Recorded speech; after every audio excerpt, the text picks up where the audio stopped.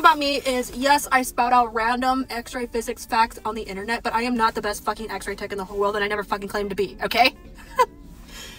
in real life watches my TikToks and think, oh my gosh, she thinks she knows so fucking much.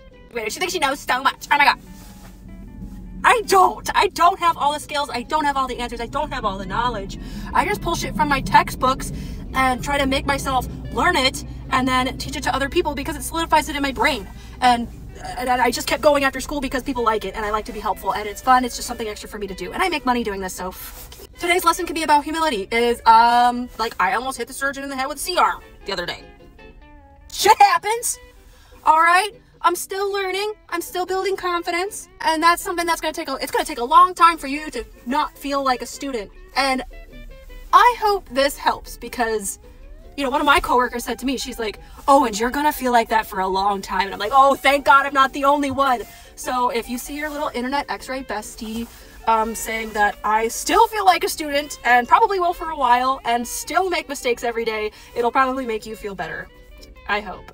All right, I've already had an Alani and a large coffee today, so I'm a little bit hyper.